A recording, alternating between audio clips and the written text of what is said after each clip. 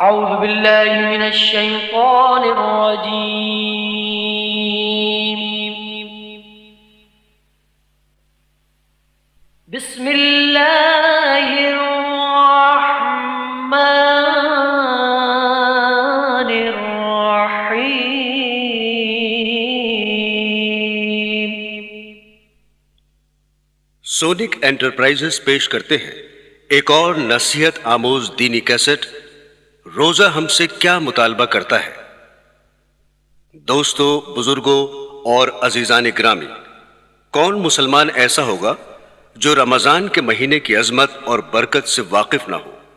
अल्लाह ताला ने यह महीना अपनी इबादत के लिए बनाया है और ना मालूम क्या क्या रहमतें अल्लाह ताला इस महीने में अपने बंदों की तरफ़ मबजूल फरमाते हैं। हम और आप इन रहमतों का तस्वुर भी नहीं कर सकते। इस महीने के अंदर बाज आमाल ऐसे हैं जिनको हर मुसलमान जानता है और उस पर अमल भी करता है। मसलन, इस माह में रोज़े फ़र्ज़ है। अल्हम्दुलिल्लाह, मुसलमानों को रोजा रखने की तौफीक हो जाती है और तरावी के बारे में मालूम है कि यह सुन्नत है और मुसलमानों को इसमें शिरकत की सादत हासिल हो जाती है। लेकिन इस वक्त एक और पहलू की तरफ़ तवज्जो दिलाना चाहता हूँ। दोस्तों आमतौर पर यह समझा जाता है कि रमजानुल मुबारक की खसूसियत सिर्फ़ यह है कि उसमें रोज़े रखे जाते हैं और रात के वक्त तरावी पड़ी जाती है। और बस, इसके अलावा और कोई खसूसियत नहीं। इसमें तो शक नहीं है कि ये दोनों इबादतें इस महीने की बड़ी अहम इबादत में से हैं। लेकिन बात सिर्फ़ यहाँ तक खत्म नहीं होती, बल्कि दर हकीकत रमजानुल मुबारक हमसे इससे ज़्यादा का मुतालबा करता है। और कुरान करीम में अल्लाह जल्ल शाहू ने इरशाद फरमाया है कि मैंने जिन्नात और इंसानों को सिर्फ़ एक काम के लिए पैदा किया और वो ये कि मेरी इबादत करें। गोया, अल्लाह ताला ने इंसान की तख्लीक का बुनियादी मकसद ये बताया कि वो अल्लाह की इबादत करे। यहाँ बाज लोगों को, खासकर नई रोशनी के लोगों को यह शुबा होता है कि अगर इंसान की तख्लीक का मकसद सिर्फ़ इबादत था तो इस काम के लिए इंसान को पैदा करने की क्या ज़रूरत थी? ये काम तो फरिश्ते पहले से बहुत अच्छी तरह अंजाम दे रहे थे और वो अल्लाह की इबादत, तस्बीह और तकदीस में लगे हुए थे। यही वजह है कि जब अल्लाह ताला ने हज़रत आदम सलाम को तख्लीक फरमाने का इरादा किया और फरिश्तों को बताया कि मैं इस तरह का एक इंसान पैदा करने वाला हूँ तो फरिश्तों ने बेसाख्ता ये कहा कि आप एक ऐसे इंसान को पैदा कर रहे हैं जो ज़मीन में फसाद मचाएगा और खूरेजी करेगा और इबादत तस्बी और तकदीस हम अंजाम दे रहे हैं। इसी तरह आज भी एतराज़ करने वाले ये एतराज़ कर रहे हैं कि अगर इंसान की तख्लीक का मकसद सिर्फ़ इबादत होता तो इसके लिए इंसान को पैदा करने की ज़रूरत नहीं थी। ये काम तो फरिश्ते पहले ही अंजाम दे रहे हैं। बेशक अल्लाह ताला के फरिश्ते अल्लाह ताला की इबादत कर रहे थे, लेकिन उनकी इबादत बिल्कुल मुख्तलिफ़ नौयत की थी और इंसान के सुपुर्द जो इबादत की गई, वो बिल्कुल मुख्तलिफ़ नौयत की थी। इसलिए कि फरिश्ते जो इबादत कर रहे थे, उनके मिजाज में इसके खिलाफ करने का इम्कान ही नहीं था। वो अगर चाहे कि इबादत ना करें तो उनके अंदर इबादत छोड़ने की सलाहियत नहीं। अल्लाह ताला ने उनके अंदर से गुनाह करने का इम्कान ही खत्म फरमा दिया। और ना उन्हें भूख लगती है, ना उनको प्यास लगती है, और ना उनके अंदर शहवानी तकाजा पैदा होता है। हती के उनके दिल में गुनाह का वसवसा भी नहीं गुजरता। गुनाह की ख्वाहिश और गुनाह पर इकदाम तो दूर की बात है। इसलिए अल्लाह ताला ने उनकी इबादत पर कोई अजर सवाब भी नहीं रखा। क्योंकि अगर फरिश्ते गुनाह नहीं कर रहे हैं तो उसमें उनका कोई कमाल नहीं। और जब कोई कमाल नहीं तो फिर जन्नत वाला अजर सवाब भी मुरतब नहीं होगा। मसलन, एक शख्स बीनाई से महरूम है, जिसकी वजह से सारी उम्र उसने ना कभी फ़िल्म देखी, न कभी टीवी देखा और ना कभी गैर महरम पर निगाह डाली। बताइए कि इन गुनाहों के ना करने में उसका क्या कमाल ज़ाहिर हुआ? इसलिए कि उसके अंदर इन गुनाहों के करने की सलाहियत ही नहीं है। लेकिन एक दूसरा शख्स, जिसकी बीनाई बिल्कुल ठीक है, जो चीज़ चाहे देख सकता है, लेकिन देखने की सलाहियत मौजूद होने के बावजूद, जब किसी गैर महरम की तरफ़ देखने का तकाजा दिल में पैदा होता है, वो फ़ौरन अल्लाह ताला के खौफ से निगाह नीची कर लेता है। अब बजाहिर, दोनों गुनाहों से बच रहे हैं, लेकिन दोनों में ज़मीन आसमान का फ़र्क है। पहला शख्स भी गुनाह से बच रहा है और दूसरा शख्स भी गुनाह से बच रहा है, लेकिन पहले शख्स का गुनाह से बचना कोई कमाल नहीं और दूसरे शख्स का गुनाह से बचना कमाल है। लिहाजा अगर मलाइका सुबह से शाम तक खाना ना खाएँ तो ये कोई कमाल नहीं, इसलिए कि उन्हें भूख ही नहीं लगती और उन्हें खाने की हाजत ही नहीं। लिहाजा उनके ना खाने पर कोई अजर सवाब भी नहीं, लेकिन इंसान इन तमाम हाजतों को लेकर पैदा हुआ है। लिहाजा कोई इंसान कितने ही बड़े से बड़े मकाम पर पहुँच जाए हती के सबसे आला मकाम यानी नबूवत पर पहुँच जाए, तब भी वो खाने पीने से मुस्तना नहीं हो सकता। चुनाचे कुफार ने अंबिया पर यही एतराज़ किया, जिसके बारे में कुरान पाक में इरशाद हुआ, ये रसूल कैसे हैं, जो खाना भी खाते हैं और बाजारों में चलते फिरते भी हैं? तो बरदरान इस्लाम खाने का तकाजा अंबिया के साथ भी लगा हुआ है। अब अगर इंसान को भूख लग रही है, लेकिन अल्लाह के हुक्म की वजह से खाना नहीं खा रहा है तो ये कमाल की बात है। इसलिए अल्लाह ताला ने फरिश्तों से फरमाया कि मैं एक ऐसी मखलूक पैदा कर रहा हूँ, जिसको भूख भी लगेगी, प्यास भी लगेगी और उसके अंदर शहवानी तकाजे भी पैदा होंगे और गुनाह करने के दाइये भी उनके अंदर पैदा होंगे। लेकिन जब गुनाह का दाइया पैदा होगा, उस वक्त वो मुझे याद कर लेगा और मुझे याद करके अपने नफ्स को उस गुनाह से बचा लेगा। उसकी ये इबादत और गुनाह से बचना हमारे यहाँ कदर कीमत रखता है और जिसका अजर सवाब और बदला देने के लिए हमने जन्नत तैयार कर रखी है। इसलिए कि उसके दिल में दाइया और तकाजा हो रहा है और ख्वाहिशात पैदा हो रही हैं और गुनाह के महरिकात सामने आ रहे हैं। लेकिन ये इंसान हमारे खौफ और हमारी अजमत के तस्वुर से अपनी आँख को गुनाह से बचा लेता है, अपने कान को गुनाह से बचा लेता है, अपनी जबान को गुनाह से बचा लेता है और गुनाहों की तरफ़ उठते हुए कदमों को रोक लेता है, ताकि मेरा अल्लाह मुझसे नाराज़ ना हो जाए। ये इबादत फरिश्तों के बस में नहीं थी, इस इबादत के लिए इंसान को पैदा किया गया। बरदरान इस्लाम हज़रत यूसुफ अलैहिस्सलाम को जो फितना जुलेखा के मुकाबले में पेश आया, कौन मुसलमान ऐसा है जो उसको नहीं जानता? कुरान करीम कहता है कि जुलेखा ने हज़रत यूसुफ अलैहिस्सलाम को गुनाह की दावत दी। उस वक्त जुलेखा के दिल में भी गुनाह का ख्याल पैदा हुआ और हज़रत यूसुफ अलैहिस्सलाम के दिल में भी गुनाह का ख्याल आ गया। आम लोग तो इससे हज़रत यूसुफ अलैहिस्सलाम पर एतराज़ और उनकी तनकीस बयान करते हैं। हालाँकि, कुरान करीम ये बतलाना चाहता है कि गुनाह का ख्याल आ जाने के बावजूद अल्लाह ताला के खौफ और उनकी अजमत के इस्तेजार से इस गुनाह के ख्याल पर अमल नहीं किया और अल्लाह ताला के हुक्म के आगे सरे तस्लीम खम कर लिया। लेकिन अगर गुनाह का ख्याल भी दिल में ना आता और गुनाह करने की सलाहियत ही ना होती और गुनाह का तकाजा ही पैदा ना होता तो फिर हज़ार मरतबा जुलेखा गुनाह की दावत दे, फिर तो कमाल की कोई बात नहीं थी। कमाल तो यही था कि गुनाह की दावत दी जा रही है, माहौल भी मौजूद है, हालात भी साजगार है और दिल में ख्याल भी आ रहा है। लेकिन इन सब चीज़ों के बावजूद अल्लाह के हुक्म के आगे सर तस्लीम खम करके फरमाया कि माज अल्लाह, मैं अल्लाह की पनाह चाहता हूँ। ये इबादत है जिसके लिए अल्लाह ताला ने इंसान को पैदा फरमाया। जब इंसान का मकसद तखलीक, इबादत है तो इसका तकाजा यह था कि जब इंसान दुनिया में आए तो सुबह से लेकर शाम तक इबादत के अलावा कोई और काम ना करे और उसको दूसरे काम करने की इजाज़त ना होनी चाहिए। चुनाचे दूसरी जगह कुरान करीम ने फरमाया है कि अल्लाह ताला ने मोमिनों से उनकी जाने और उनके माल खरीद लिए। और इसका मुआवजा ये मुकर्र फरमाया कि आखिरत में उनको जन्नत मिलेगी। जब हमारी जानें बिक चुकी हैं तो ये जानें जो हम लिए बैठे हैं, वो हमारी नहीं है, बल्कि बिका हुआ माल है, इसकी कीमत लग चुकी है। जब ये जान अपनी नहीं है तो इसका तकाजा यह था कि इस जान और जिस्म को सिवाय अल्लाह की इबादत के दूसरे काम में ना लगाया जाए।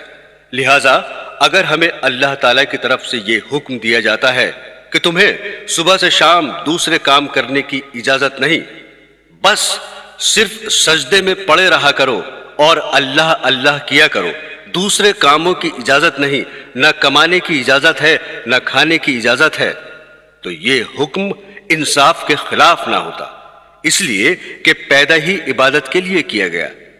लेकिन कुर्बान जाइए, ऐसे खरीदार पर कि अल्लाह ताला ने हमारी जानो माल को खरीद भी लिया और उसकी कीमत भी पूरी लगा दी, यानी जन्नत।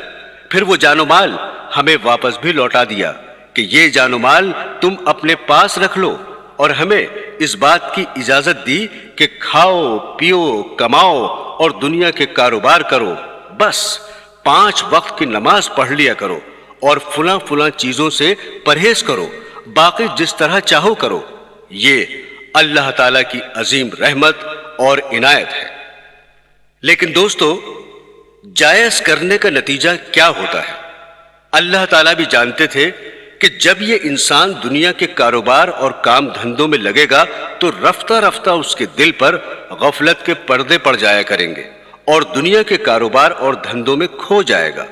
तो इस गफलत को दूर करने के लिए वक्तन फवक्तन कुछ औकात मुकर्र फरमा दिए हैं।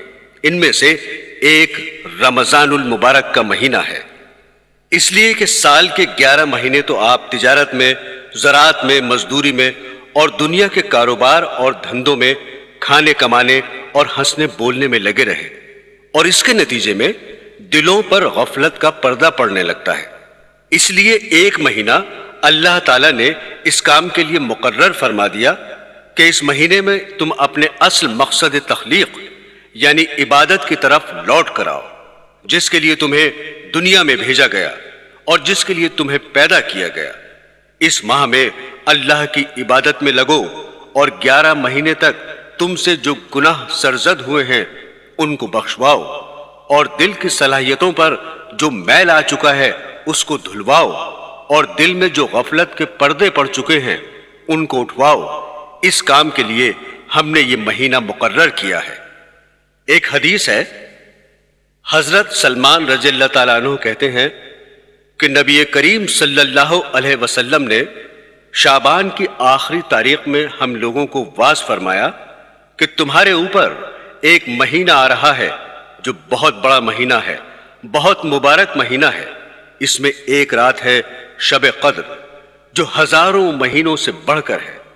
अल्लाह ताला ने इसके रोज़े को फ़र्ज़ फरमाया और इसके रात के क्याम, यानी तरावी को सवाब की चीज़ बनाया है।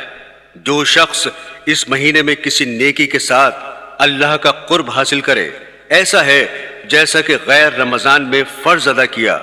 और जो शख्स इस महीने में किसी फ़र्ज़ को अदा करे, वो ऐसा है जैसा कि गैर रमज़ान में सत्तर फ़र्ज़ अदा करे।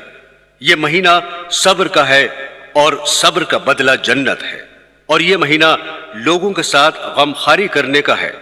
इस महीने में मोमिन का रिस्क बढ़ा दिया जाता है। जो शख्स किसी रोजादार का रोजा अफ्तार कराए, उसके लिए गुनाहों के माफ़ होने और आग से खलासी का सबब होगा और रोजादार के सवाब की मानंद उसको सवाब होगा। मगर उस रोजादार के सवाब से कुछ कम नहीं किया जाएगा। साहबा ने अर्ज़ किया, या रसूलुल्लाह हम में से हर शख्स तो इतनी वसत नहीं रखता कि रोजादार को अफ्तार कराए। तो आप सल्लल्लाहु अलैहि वसल्लम ने फरमाया कि पेट भर खिलाने पर मौकूफ नहीं। ये सबाब तो अल्लाह जल्ल शाहू एक खजूर से कोई अफ्तार करा दे या एक घूंट पिला दे या एक घूंट लस्सी पिला दे, उस पर भी मरहमत फरमाते हैं। ये ऐसा महीना है कि इसका अव्वल हिस्सा अल्लाह की रहमत है और दरमियानी हिस्सा मगफरत है। और आखिरी हिस्सा आग से आज़ादी है। जो शख्स इस महीने में हल्का कर दे, अपने गुलाम खादिम के बोझ को हक ताला जल्ले शानहू उसकी मगफरत फरमाते हैं और आग से आज़ादी फरमाते हैं। और चार चीज़ों की इसमें कसरत रखा करो, जिनमें से दो चीज़ें अल्लाह ताला की रज़ा के वास्ते और दो चीज़ें ऐसी हैं कि जिनसे तुम्हें चारा कार नहीं। पहली दो चीज़ें जिनसे तुम अपने रब को राज़ी करो, वो कलमा तैयबा और इस्तगफार की कसरत है। और दूसरी दो चीज़ें ये हैं कि जन्नत की तलब करो और आग से पनाह मांगो। जो शख्स किसी रोजादार को पानी पिलाए, हक ताला कयामत के दिन मेरी हौस से उसको ऐसा पानी पिलाएँगे जिसके बाद जन्नत में दाखिल होने तक प्यास नहीं लगेगी। अजीजान ग्रामी लफ्ज रमज़ान मीम के सुकून के साथ हम गलत इस्तेमाल करते हैं। सही लफ्ज रमज़ान मीम के जबर के साथ है। और रमज़ान के लोगों ने बहुत से मानी बयान किए हैं, लेकिन असल अरबी जबान में रमज़ान के मानी है झुलसा देने वाला और जला देने वाला। और इस माह का ये नाम इसलिए रखा गया कि सबसे पहले जब इस माह का नाम रखा जा रहा था, उस साल ये महीना शदीद झुलसा देने वाला गर्मी में आया था। इसलिए लोगों ने इसका नाम रमज़ान रख दिया। लेकिन ओलमा ने फरमाया कि इस माह को रमज़ान इसलिए कहा जाता है कि इस महीने में अल्लाह ताला अपनी रहमत से, अपने फजल करम से बंदों के गुनाहों को झुलसा देते हैं, जला देते हैं। इस मकसद के लिए अल्लाह ताला ने यह महीना मुकर्र फरमाया। ग्यारह महीने दुनियावी कारोबार, दुनियावी धंधों में लगे रहने के नतीजे में गफलतें दिल पर छा गईं और इस अरसे में जिन गुनाहों और खताओं का इरतकाब हुआ, उनको अल्लाह ताला के हुजूर हाजिर होकर उन्हें बख्शवा लो और गफलत के पर्दों को दिल से उठा दो ताकि ज़िंदगी का एक नया दौर शुरू हो जाए। इसलिए कुरान करीम ने फरमाया कि ये रोज़े तुम पर इसलिए फ़र्ज़ किए गए हैं ताकि तुम्हारे अंदर तकवा पैदा हो जाए। तो रमज़ान के महीने का असल मकसद यह है कि साल भर के गुनाहों को बख्शवाना और गफलत के हिजाब दिल से उठाना और दिलों में तकवा पैदा करना। जैसे किसी मशीन को जब कुछ अरसे इस्तेमाल किया जाए तो उसके बाद उसकी सर्विस करानी पड़ती है, उसकी सफ़ाई करानी होती है। इसी तरह अल्लाह ताला ने इंसान की सर्विस और ओवरहॉलिंग के लिए ये रमज़ान मुबारक का महीना मुकर्र फरमाया, ताकि इस महीने में अपनी सफ़ाई कराओ और अपनी ज़िंदगी को एक नई शक्ल दो। अजीज़ान ग्रामी, सिर्फ़ रोज़ा रखने और तरावी पढ़ने की हद तक बात ख़त्म नहीं होती, बल्कि इस महीने का तकाजा यह है कि इंसान अपने आप को इस महीने में दूसरे कामों से फारिग कर ले, इसलिए कि 11 महीने तक ज़िंदगी के दूसरे काम धंधों में लगे रहे लेकिन यह महीना इंसान के लिए उसकी असल मकसद तखलीक की तरफ़ लौटने का महीना है।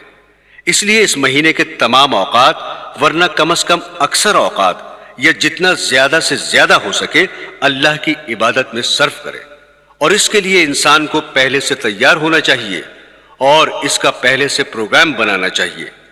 आजकल आलम इस्लाम में एक बात चल पड़ी है, जिसकी इब्तदा अरब ममालिक खासकर मिस्र और शाम से हुई और फिर दूसरे मुल्कों में भी राइज हो गई और हमारे यहाँ भी आ गई है।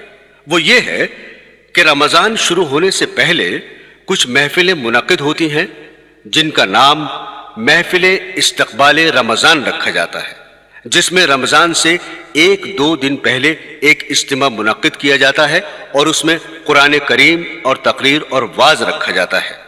जिसका मकसद लोगों को यह बतलाना होता है कि हम रमज़ानुल मुबारक का इस्तकबाल कर रहे हैं और उसको खुश आमदेद कह रहे हैं।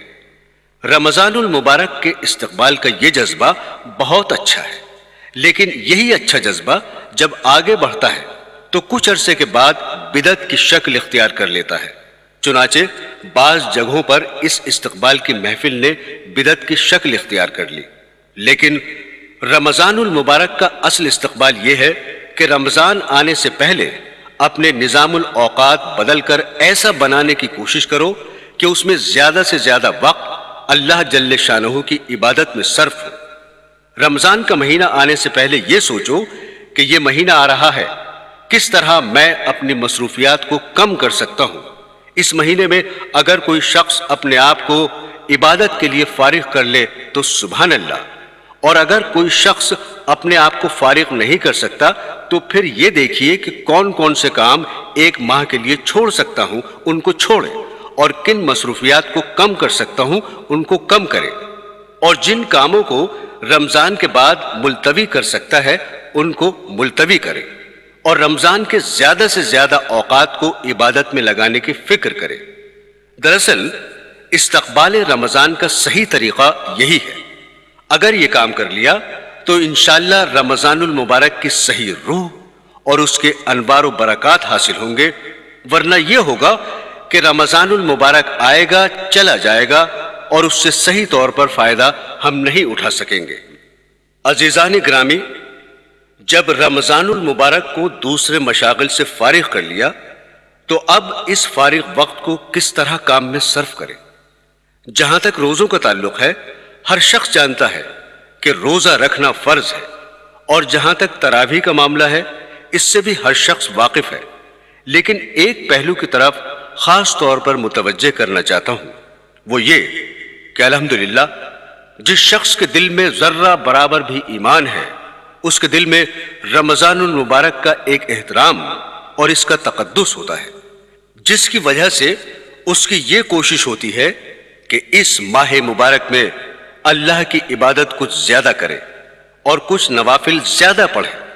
जो लोग आम दिनों में पाँच वक्त की नमाज़ अदा करने के लिए मस्जिद में आने से कतराते हैं, वो लोग भी तरावी जैसी लंबी नमाज़ में भी रोज़ाना शरीक होते हैं। ये सब, अल्हम्दुलिल्लाह, इस माह की बरकत है कि लोग इबादत में, नमाज़ में ज़िक्र अस्कार और तिलावत कुरान में मशगूल होते हैं। नबी करीम सल्लल्लाहु अलैहि वसल्लम का इरशाद है कि मुबारक की हर शब रोज में अल्लाह के यहाँ से जहन्नम के कैदी छोड़ दिए जाते हैं और हर मुसलमान के लिए हर शब रोज में एक दुआ ज़रूर कबूल होती है। बरदरान इस्लाम, नफली नमाजों, नफली इबादत, नफली ज़िक्र असकार और नफली तिलावत कुरान करीम से ज़्यादा मुकदम एक और चीज़ है।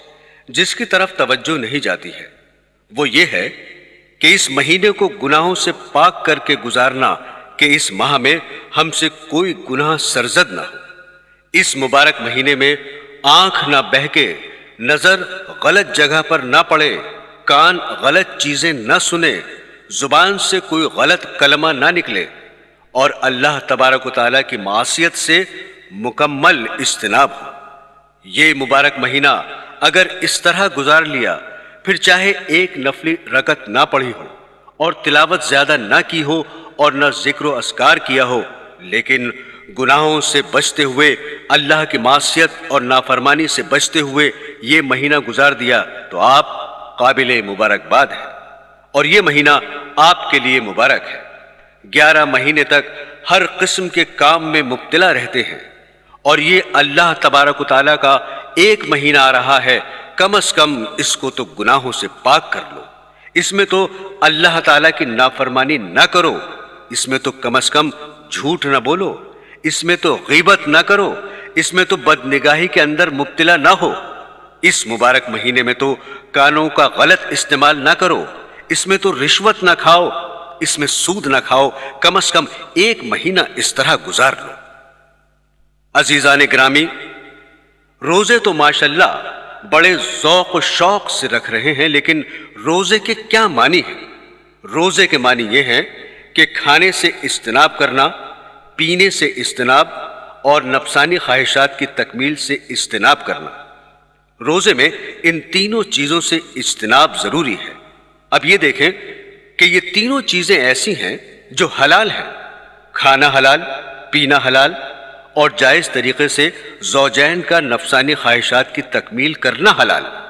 अब रोज़े के दौरान आप इन हलाल चीज़ों से तो परहेज कर रहे हैं, न खा रहे हैं, न पी रहे हैं, लेकिन जो चीज़ें पहले से हराम थी, मसलन झूठ बोलना, गीबत करना, बदनिगाही करना, जो हर हाल में हराम थी, रोज़े में ये सब चीज़ें हो रही हैं। अब रोजा रखा हुआ है और झूठ बोल रहे हैं। रोजा रखा हुआ है और गईबत कर रहे हैं। रोजा रखा हुआ है और बदनिगाही कर रहे हैं। रोजा रखा हुआ है, लेकिन वक्त पास करने के लिए गंदी गंदी फ़िल्में देख रहे हैं। ये क्या रोजा हुआ? कि हलाल चीज़ तो छोड़ दी और हराम चीज़ नहीं छोड़ी?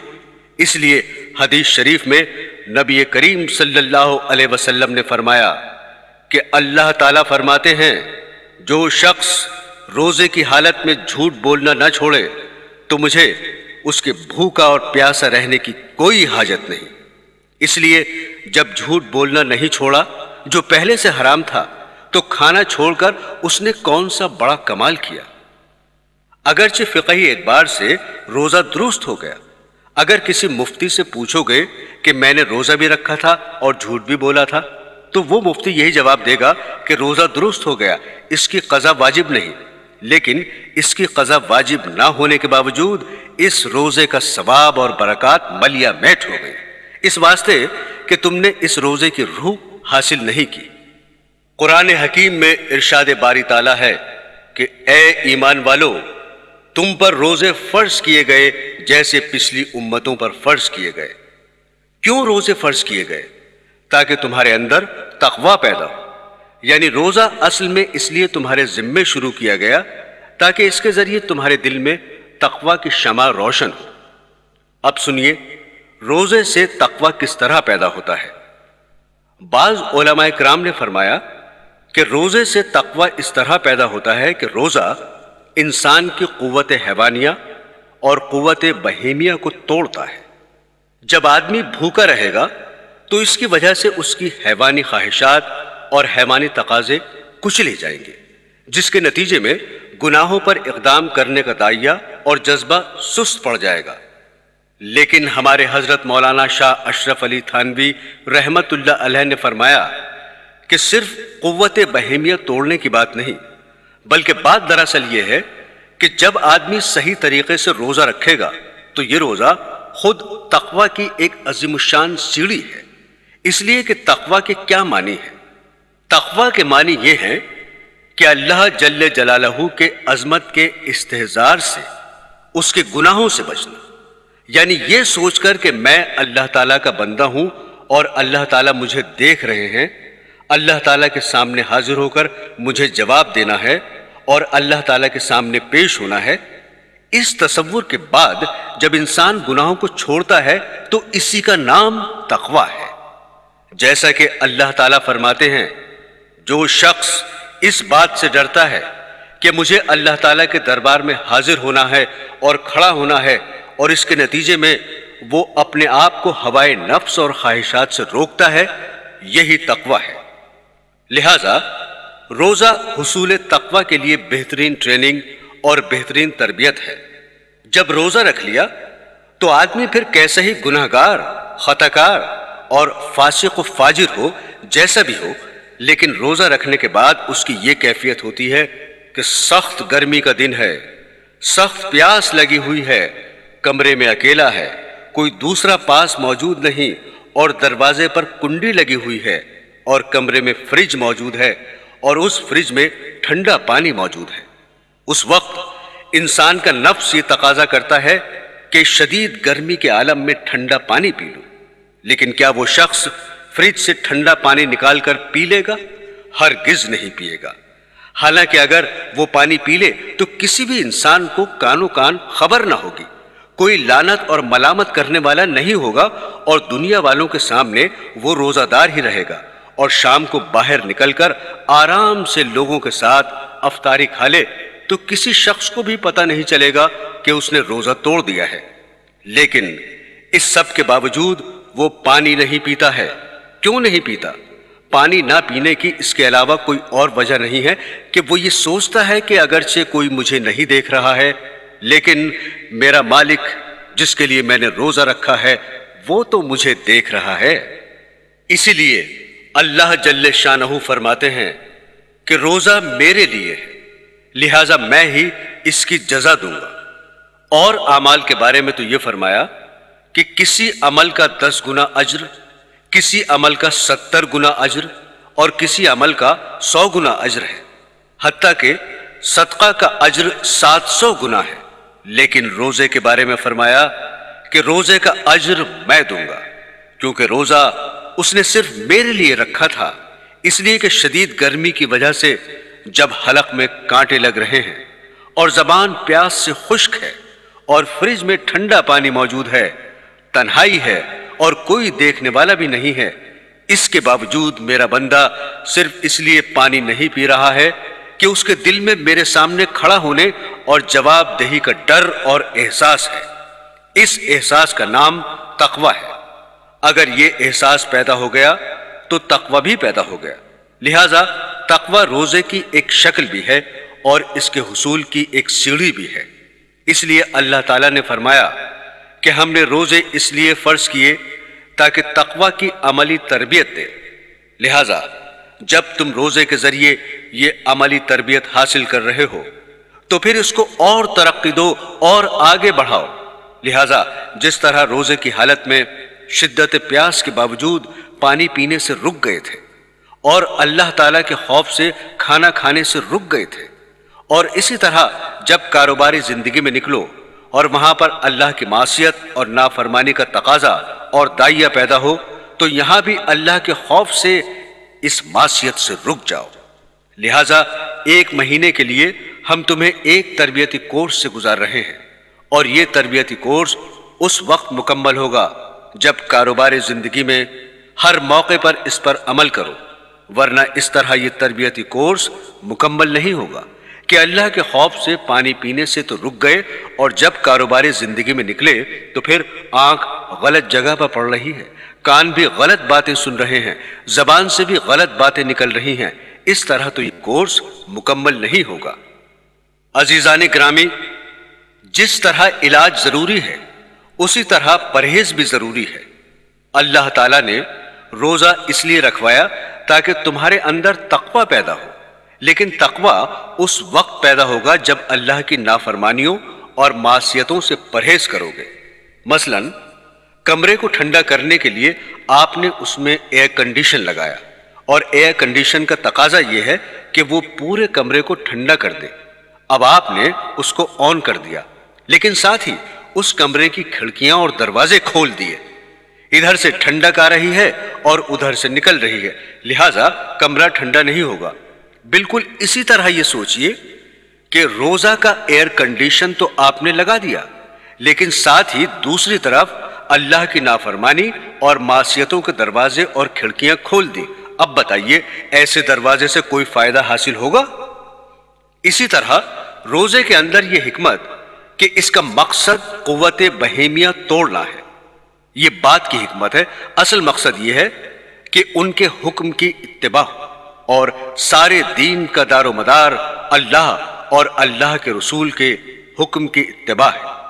वो जब कहें कि खाओ, उस वक्त खाना दीन है। और जब वो कहें कि मत खाओ, उस वक्त ना खाना दीन है।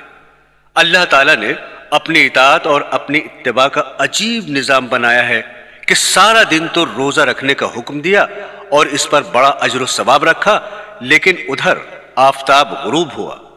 इधर यह हुक्म आ गया कि अब जल्दी अफ्तार करो, क्योंकि बिला वजह अफ्तार में ताखिर करना मकरू और नापसंदीदा है। क्यों नापसंदीदा है? इसलिए कि जब आफ्ताब गुरूब हो गया तो अब हमारा यह हुक्म आ गया कि अब भी अगर नहीं खाओगे और भूखे रहोगे तो ये भूख की हालत हमें पसंद नहीं। इसलिए कि असल काम हमारी इतबा करना है, अपना शौक पूरा नहीं करना है। दोस्तों, आम हालात में दुनिया की किसी चीज़ की हिर्स और हवस बहुत बुरी चीज़ है। लेकिन जब वो कहें कि हिर्स करो तो फिर हिर्स ही में लुत्फ और मज़ा है। किसी ने क्या खूब कहा है? जब सुल्तान दीन ये चाह रहे हैं कि मैं हिर्स और तमा करूँ तो फिर कनात के सर पर खाक, फिर कनात में मज़ा नहीं है, फिर तो तमा और हिर्स में मज़ा है। ये अवतार में जल्दी करने का हुक्म इसी वजह से है। गुरूब आफ्ताब से पहले तो यह हुक्म था, एक जर्रा भी अगर मुँह में चला गया तो गुना भी लाजिम और कफारा भी लाजिम। मसलन, सात बजे आफ्ताब गुरूब हो रहा था। अब अगर किसी शख्स ने छह बजकर उनसठ मिनट पर एक चने का दाना खा लिया, अब बताइए कि रोज़े में कितनी कमी आई? सिर्फ़ एक मिनट की कमी आई। एक मिनट का रोजा तोड़ा, लेकिन इस एक मिनट के रोज़े के कफारे में साठ दिन के रोज़े रखने वाजिब है। इसलिए कि बात सिर्फ़ एक चने और एक मिनट की नहीं है। बात दरअसल यह है कि उसने हमारा हुक्म तोड़ा। हमारा हुक्म यह था कि जब तक आफ्ताब गुरूब ना हो जाए, उस वक्त तक खाना जायज़ नहीं। लेकिन तुमने ये हुक्म तोड़ दिया, लिहाजा अब एक मिनट के बदले में साठ दिन के रोज़े रखो। और फिर जैसे ही आफ्ताब गुरूब हो गया तो यह हुक्म आ गया, अब जल्दी खाओ। अगर बिला वजह ताखिर कर दी तो गुना होगा। क्यों? इस वास्ते कि हमने हुक्म दिया था कि खाओ, अब खाना ज़रूरी है। लेकिन मेरे अजीजों सहरी के बारे में हुक्म यह है कि सहरी ताखीर से खाना अफजल है, जल्दी खाना खिलाफ सुन्नत है। बाज लोग रात को 12 बजे सहरी खाकर सो जाते हैं यह खिलाफ सुन्नत है। चुनाचे साहब कराम का भी यही मामूल था कि बिल्कुल आखिरी वक्त तक खाते रहते थे। इस वास्ते कि ये वो वक्त है जिसमें अल्लाह ताला की तरफ़ से न सिर्फ़ ये कि खाने की इजाज़त है, बल्कि खाने का हुक्म है। इसलिए जब तक वो वक्त बाकी रहेगा, हम खाते रहेंगे, क्योंकि अल्लाह ताला के हुक्म की इत्तबा और इतात इसी में है। अब अगर कोई शख्स पहले सहरी खा ले तो गोया के उसने रोज़े के वक्त में अपनी तरफ़ से इजाफा कर दिया। इसलिए पहले से सहरी खाने को ममनू करार दिया गया। पूरे दीन में सारा खेल इत्तबा का है। जब हमने कहा कि खाओ तो खाना सवाब है, और जब हमने कहा कि मत खाओ तो ना खाना सवाब है। इसलिए हज़रत हकीमुल उम्मत रहमतुल्लाह अलैह फरमाया करते थे कि जब अल्लाह मियाँ कह रहे हैं कि खाओ, और बंदा कहे, मैं तो नहीं खाता या मैं कम खाता हूँ, ये तो बंदगी और इतात ना हुई। अरे भाई, न तो खाने में कुछ रखा है और ना ही ना खाने में कुछ रखा है। सब कुछ उनकी इतात में है। इसलिए जब उन्होंने कह दिया कि खाओ तो फिर खाओ, इसमें अपनी तरफ़ से ज़्यादा पाबंदी करने की ज़रूरत नहीं है।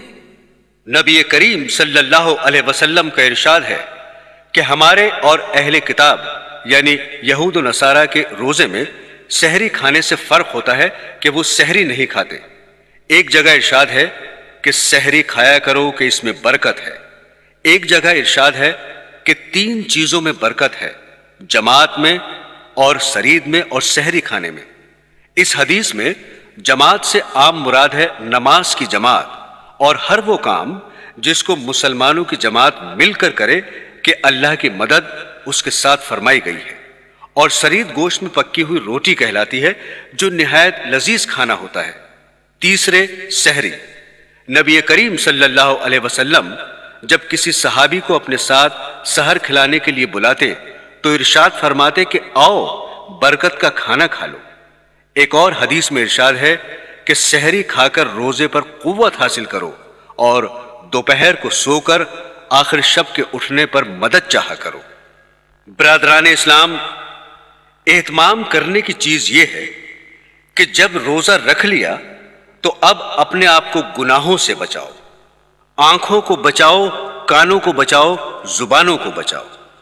एक रमज़ान के मौके पर एक बुज़ुर्ग दीन ने फरमाया कि मैं एक ऐसी बात कहता हूँ जो कोई और नहीं कहेगा। वो ये कि अपने नफ्स को इस तरह बहलाओ और उससे अहद कर लो कि एक महीना बगैर गुनाह के गुजार लो। जब ये एक महीना गुजर जाए तो फिर तेरा जो जी चाहे करना। चुनाचे फरमाते हैं कि अल्लाह ताला की रहमत से उम्मीद है कि जब ये एक महीना बगैर गुनाह के गुजर जाएगा तो फिर अल्लाह ताला खुद उसके दिल में गुनाह छोड़ने का दाइया पैदा फरमा देंगे। लेकिन ये अहद कर लो कि ये अल्लाह का महीना आ रहा है। ये इबादत का महीना है, ये तकवा पैदा करने का महीना है। हम इसमें गुनाह नहीं करेंगे और हर शख्स अपने गरीबान में मुँह डालकर देखे कि वो किन गुनाहों में मुब्तला है। फिर इन सब के बारे में ये अहद कर ले कि मैं इनमें मुब्तला नहीं हूँगा मसलन ये अहद कर ले कि रमजानुल मुबारक में आँख गलत जगह पर नहीं उठेगी। कान गलत बात नहीं सुनेंगे। जबान से गलत बात नहीं निकलेगी। ये तो कोई बात ना हुई कि रोजा भी रखा हुआ है और फवाहिशात को आँख से देख रहे हैं और उससे लुत्फानंदोज हो रहे हैं। दूसरी अहम बात जो वो हज़रत रहमत फरमाते थे कि कम अज कम इस एक महीने में तो रिस्क हलाल का एहतमाम कर लो। जो लुकमा आए वो हलाल का है। कहीं ऐसा ना हो कि रोजा तो अल्लाह के लिए रखा और उसको हराम चीज़ से अवतार कर रहे हैं। सूद पर अवतार हो रहा है, या रिश्वत पर अवतार हो रहा है, या हराम आमदनी पर अवतार हो रहा है। ये कैसा रोजा हुआ कि शहरी भी हराम और अफतारी भी हराम और दरमियान में रोजा? इसलिए खास तौर पर इस महीने में हराम रोजी से बचो और अल्लाह तबारा को ताला से मांगो कि या अल्लाह, मैं रिस्क हलाल खाना चाहता हूँ, मुझे रिस्क हराम से बचा लीजिए। बाज हजरात वो हैं जिनका बुनियादी ज़रिया माश, अल्हम्दुलिल्लाह, हराम नहीं है, बल्कि हलाल है।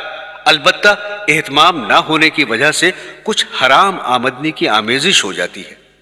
ऐसे हजरात के लिए हराम से बचना कोई दुशवार काम नहीं है। वो कम अज कम इस महीने में थोड़ा सा एहतमाम कर लें और हराम आमदनी से बचे। ये अजीब किस्सा है कि इस माह के लिए तो अल्लाह ताला ने फरमाया था कि ये सब्र का महीना है, ये गमखारी का महीना है, एक दूसरे से हमदर्दी का महीना है, लेकिन इस माह में लोग उल्टा खाल खींचने की फ़िक्र करते हैं। इधर रमजानुल मुबारक का महीना आया और उधर चीज़ों की जखीरा अंदोजी शुरू कर दी। लिहाजा कम अज कम इस महीने में अपने आप को ऐसे हराम कामों से बचाओ।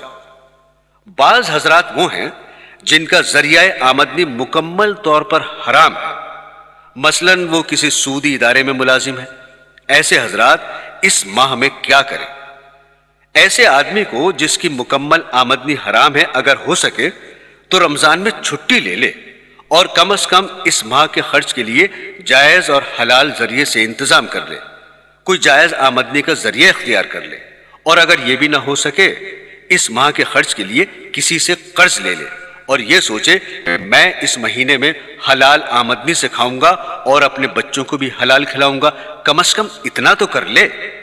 बहरहाल, लोग इस महीने में नवाफिल वगैरह का तो एहतमाम बहुत करते हैं, लेकिन गुनाहों से बचने का इतना एहतमाम नहीं करते। हालाँकि इस माह में अल्लाह ताला ने गुनाहों से बचने को आसान फरमा दिया है। चुनाचे इस माह में शैतान को बेड़ियाँ पहना दी जाती हैं। उसको कैद कर दिया जाता है। लिहाजा शैतान की तरफ़ से गुनाह करने के वसवसे और तकाजे खत्म हो जाते हैं। इसलिए गुनाहों से बचना आसान हो जाता है। मेरे अजीजों, तीसरी बात जिसका रोज़े से खास ताल्लुक है वो है गुस्से से इज्तनाब और परहेज। चुनाचे हदीस शरीफ में है कि हुजूर अकदस सल्लल्लाहु अलैहि वसल्लम ने फरमाया कि ये एक दूसरे से गमखारी का महीना है, लिहाजा गुस्सा और गुस्से की वजह से सरजद होने वाले जराइम और गुनाह, मसलन झगड़ा मार पिटाई तू तकार इन सब चीज़ों से परहेज का एहतमाम करें। हदीस शरीफ में हुजूर अकदस सल्लल्लाहु अलैहि वसल्लम ने यहाँ तक फरमा दिया है कि अगर कोई शख्स तुमसे जहालत और लड़ाई की बात करे तो तुम कह दो कि मेरा रोजा है। मैं लड़ने के लिए तैयार नहीं, न जबान से लड़ने के लिए तैयार हूँ और न हाथ से इससे परहेज करें, ये सब बुनियादी काम है। बरदरान इस्लाम, जहाँ तक इबादत का ताल्लुक है, तमाम मुसलमान माशाल्लाह जानते ही हैं कि रोजा रखना, तरावी पढ़ना ज़रूरी है और तिलावत कुरान को चूँकि इस महीने से खास मुनासबत है, चुनाचे हुजूर नबी करीम सल्लल्लाहु अलैहि वसल्लम रमज़ान के महीने में हज़रत जब्राईल अलैहिस्सलाम के साथ पूरे कुरान करीम का दौर फरमाया करते थे। इसलिए जितना ज़्यादा से ज़्यादा हो सके इस महीने में तिलावत करें और इसके अलावा चलते, फिरते, उठते, बैठते ज़ुबान पर अल्लाह का ज़िक्र करें और नवाफिल की जितनी कसरत हो सके करें और आम दिनों में रात को उठकर तहज्जुद की नमाज़ पढ़ने का मौका नहीं मिलता, लेकिन रमज़ानुल मुबारक में चूँकि इंसान सहरी के लिए उठता है, थोड़ा पहले उठ जाए और सहरी से पहले तहज्जुद पढ़ने का मामूल बना ले और इस महीने में नमाज़ खुशू के साथ और मर्द बाजमात नमाज़ पढ़ने का एहतमाम कर ले। ये सब काम तो इस माह में करने ही चाहिए।